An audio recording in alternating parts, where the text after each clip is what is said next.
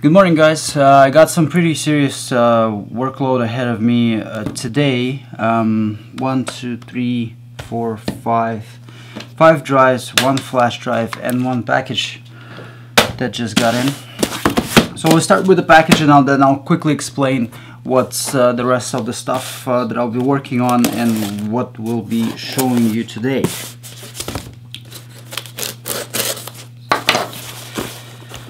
This just arrived.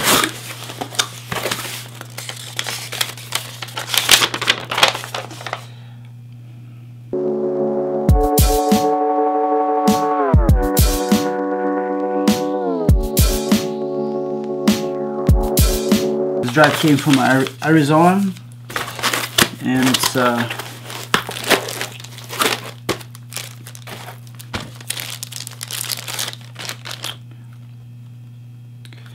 It's an external two and a half inch hard drive.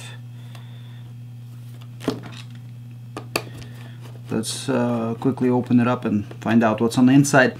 Um, this is not a really known brand to me. I don't know what type of drive is on the inside, but it feels heavy, so I'm gonna guess that most likely it's like a one terabyte thicker hard drive. Just gonna undo these bolts here.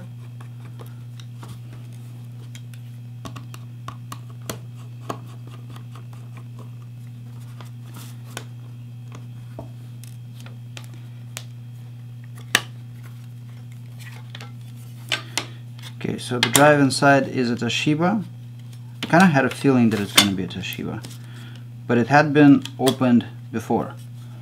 You see this label? It's not even on the drive, which is a really bad thing, eh, by the way, because without that label, I don't know what parts this drive would need. I don't know what that drive on the inside is. So if this drive is making clicking sounds,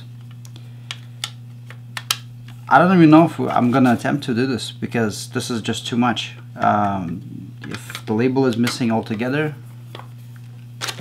how can I fix it? I don't know what parts to use because they're not indicated uh, by the PCB alone.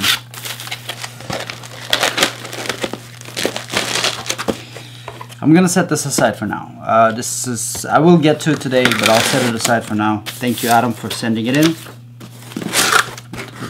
little bolts in there. Okay, the next unit on the line is a 2 terabyte Passport. We all know this drive. I've done multiple of them on this channel already. Slow response on there. I'm hoping that there's no uh, dead heads yet. Uh, and information can be uh, just uh, recovered by removing the slow response. We'll get to that today. It's a local client that brought it in. Uh, this drive here, an older um, LaCie well I don't know if it's really older it's just I haven't seen this kind of case in a long time but it's a one terabyte Toshiba drive inside. This drive just needs to be imaged. I'm guessing there's some bad sectors on there or something like that that just prevents it from loading up. Uh, this batch of work came from one of our uh, partners in Vancouver and uh, um, three hard drives they sent. One is opened external drive.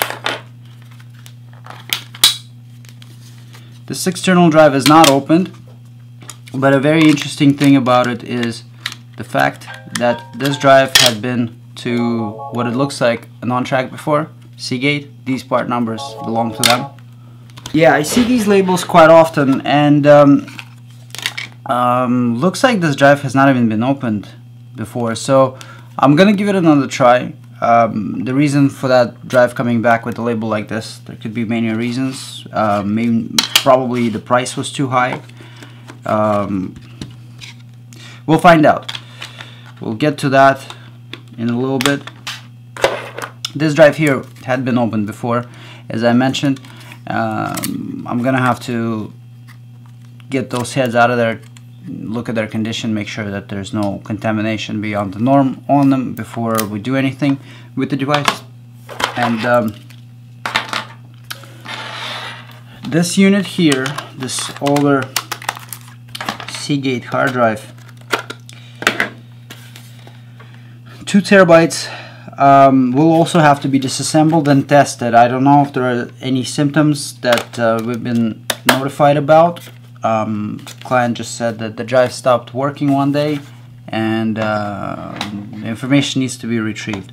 And last but not least, uh, this is the device that I wanted to talk about uh, this unit is made by Kingston. It's a flash drive, 16 gigabyte flash drive, uh, and it's um, called DT101G2. These flash drives come in in two types of packages, and one of them we service very easily, another one not so much. Uh, some of them are coming coming in as a traditional um, surface mount design.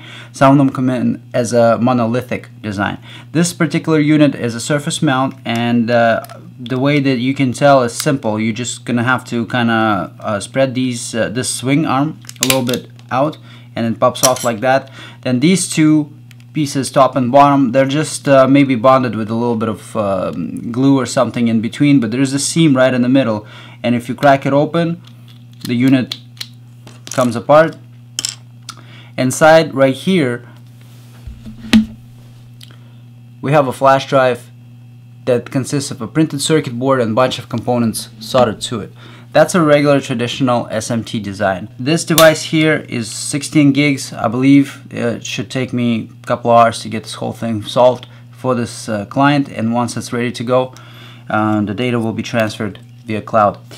So uh, looks like I got my hands full. I haven't had mail today yet, uh, so maybe we'll get some more packages during the day. Uh, it's early in the morning still. So we'll start with the easy jobs first so that they can get on the imaging equipment and image out throughout the day. And then once uh, that's all set and runs we will begin working on more complicated cases such as the Seagate uh, that was at Seagate or Ontrack. This opened up Toshiba and also this opened up Toshiba. I think this drive just needs imaging as well so I don't think that's going to be too difficult. And I'll film a detailed video about the Kingston which will be posted in the next episode if you guys want to see uh, the process that I'm going to use. I'm most likely going to use a Rusolut solution on this one. So some of you have been asking me about uh, posting some more of the content uh, using that tool. So there's your chance. I'll get it I'll try to get it done on there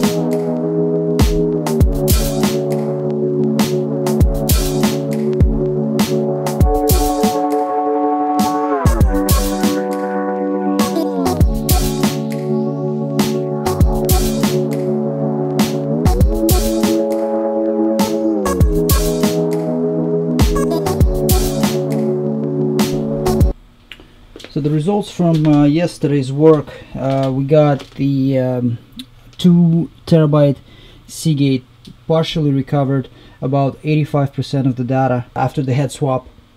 We were able to run it on 5 out of 6 heads and get at least partial image out of there. A lot of good recovered data is on this case.